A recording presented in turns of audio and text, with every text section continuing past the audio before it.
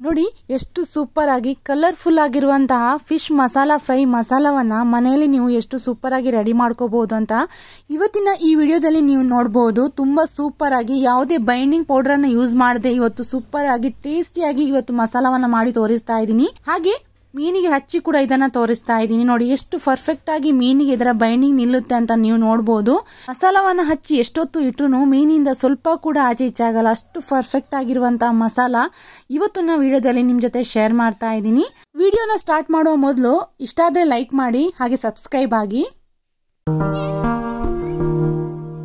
Hi friends welcome back to my channel hi ಇವತ್ತು ಮನೆಯಲ್ಲಿ ಮಸಾಲವನ್ನ super ಆಗಿ ಟೇಸ್ಟಿಯಾಗಿ ಯಾವ ರೀತಿ ರೆಡಿ ಮಾಡ್ಕೋಬಹುದು ಅಂತ ನಿಮ್ ಜೊತೆ ಶೇರ್ ಮಾಡ್ತಾ ಇದ್ದೀನಿ. ಫಿಶ್ ಫ್ರೈ ಮಸಾಲವನ್ನ ಅಂಗಡಿಯಿಂದ ತಂದು ಮನೆಯಲ್ಲಿ ಮಾಡೋದಕ್ಕಿಂತ ಮನೆಯಲ್ಲಿ ತುಂಬಾ ಸೂಪರ್ ಆಗಿ ಟೇಸ್ಟಿಯಾಗಿ ರೆಡಿ ಮಾಡ್ಕೋಬಹುದು ಇವತ್ತು ನಾನು ತೋರಿಸುವಂತ ಫಿಶ್ ಫ್ರೈ ಮಸಾಲವನ್ನ ನೀವು ಯಾವುದೇ ಮೀನಿಗೂ ಕೂಡ ಮಾಡ್ಕೋಬಹುದು ತುಂಬಾ ಟೇಸ್ಟಿಯಾಗಿರುತ್ತೆ ಹೋಟೆಲ್ ಅಲ್ಲಿ ಕೊಡುವಂತ ಟೇಸ್ಟ್ಗಿಂತ ಯಾವುದೇ ರೀತಿಯಲ್ಲಿ ಕಡಿಮೆ ಅನ್ಸಲ್ಲ. ಅಷ್ಟು ಸೂಪರ್ ಆಗಿರುತ್ತೆ. ಬನ್ನಿ ಇವಾಗ ಕ್ವಿಕ್ ಆಗಿ ಯಾವ ರೀತಿ ಮಾಡೋದಂತ ಒಂದು ಹಿಡಿಯಷ್ಟು ಬ್ಯಾಡಗಿ ಮೆಣಸನ್ನ ತಗೊಂಡಿದ್ದೀನಿ. ನೋಡಿ, ಇವಾಗ ಎರಡು ಗಿಡ್ಡ ಮೆಣಸನ್ನ ಕೂಡ ಹಾಕೊಳ್ತಾ ಇದ್ದೀನಿ. ಖಾರಕ್ಕೆ ಎರಡು ಗುಂಟೂರು ಮೆಣಸನ್ನ ಕೂಡ ಹಾಕೊಳ್ತಾ ಇದ್ದೀನಿ. ಬ್ಯಾಡ್ಗಿ ಮೆಣಸು ಖಾರ ಇರುವುದಿಲ್ಲ ಆದ್ದರಿಂದ ಎರಡು ಗುಂಟೂರು ಮೆಣಸನ್ನ ಹಾಕೊಂಡಿದ್ದೀನಿ ಖಾರಕ್ಕೆ.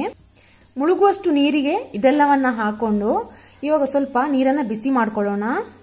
ಒಂದ್ಸಲ ಕುದಿ ಬಂದರೆ ಸಾಕು, ಆಫ್ ಮಾಡ್ಕೊಳ್ತೀನಿ. ನೋಡಿ, ಇವಾಗ ನೀರು ಕುದೀತಾ ಇದೆ. ಇನ್ನು ಇದನ್ನು ಆಫ್ ಮಾಡ್ಕೊಳ್ಳೋಣ. ಒಂದು ಫಿಫ್ಟೀನ್ ಮಿನಿಟ್ಸ್ ಇದು ಪೂರ್ತಿಯಾಗಿ ತಣ್ಣಗಾದ ಮೇಲೆ ಇದನ್ನ ರುಬ್ಕೋಬೇಕು.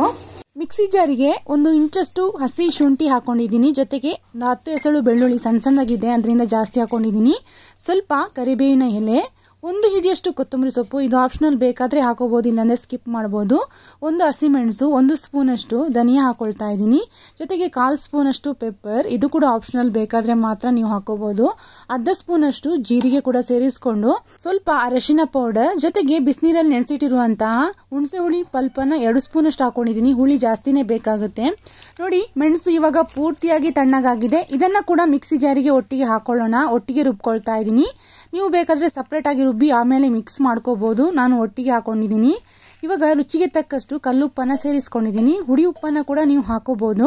ಸ್ವಲ್ಪನೇ ಸ್ವಲ್ಪ ನೀರನ್ನು ಸೇರಿಸ್ಕೊಂಡು ನೈಸಾಗಿ ರುಬ್ಕೋಬೇಕು. ಜಾಸ್ತಿ ನೀರಾಗಬಾರ್ದು, ಹಾಗೆ ಜಾಸ್ತಿ ಗಟ್ಟಿನೂ ಆಗಬಾರ್ದು. ನೋಡಿ ಇವಾಗ ಪರ್ಫೆಕ್ಟ್ ಆಗಿರುವಂಥ ಫಿಶ್ ಫ್ರೈ ಮಸಾಲ ರೆಡಿಯಾಗಿದೆ ಇದನ್ನು ಇಪ್ಪತ್ತು ದಿವಸ ತನಕ ನೀವು ಸ್ಟೋರ್ ಮಾಡಿ ಫ್ರಿಜ್ಜಲ್ಲಿ ಇಡ್ಬೋದು. ಹಾಗೆ ಯಾವುದೇ ಮೀನಿಗೂ ಕೂಡ ಇದೇ ಮಸಾಲವನ್ನು ಹಾಕಿ ನೀವು ಫ್ರೈ ಮಾಡ್ಕೋಬೋದು. ತುಂಬ ಸೂಪರ್ ಆಗಿರುತ್ತೆ. ನೀವು ಕೂಡ ಇದೇ ಮೆಥಡಲ್ಲಿ ಟ್ರೈ ಮಾಡಿ.